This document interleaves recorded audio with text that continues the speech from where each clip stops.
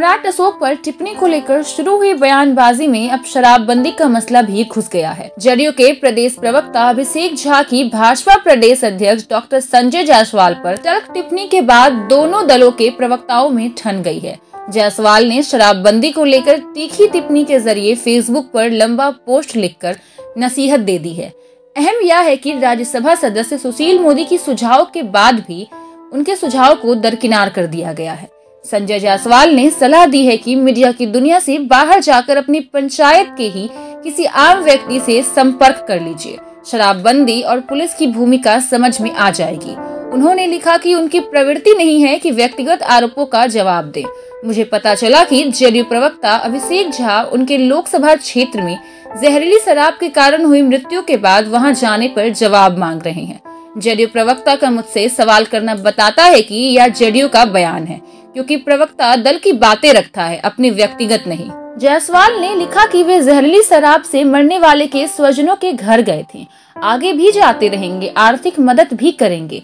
कोई जहरीली शराब पीकर मरता है तो निश्चित ही वह अपराध है, पर इससे प्रशासनिक विफलता के दाग को धोया नहीं जा सकता। शासन के घटक दल के अध्यक्ष होने के नाते मेरी भी विफलता है। वे उन गरीबों से इंसानियत के नाते मिलने गए थे। पीड़ित परिवारों को थोड़ी सी मदद भी की है, क्योंकि गुनहगार मरने वाले थे, न कि उनके स्वजन।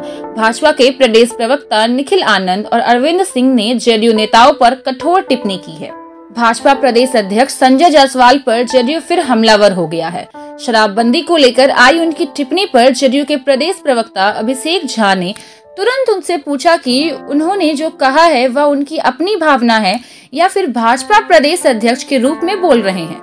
यह स्पष्ट करने की मांग की गई। जदयू प्रदेश प्रवक्ता ने कहा कि क्या यह समझा जाए कि संजय जायसवाल शराबबंदी के खिलाफ जो बोल रहे हैं, वह भाजपा का स्टैंड है? दरअसल, उनके बयान से यह साफ़ मालूम हो रहा है कि उन्होंने पूर्व में दिए गए अपने दो विरोधाभासी बयान पर सफ़ाई देने की कोशिश की है। उन्हें यह स्पष्ट करना चाहिए कि सम्राट अशोक के खिलाफ अपशब्द कहने वाले दयाशंकर सिन्हा से पुरस्कार वापसी की मांग के समर्थन में है या नहीं।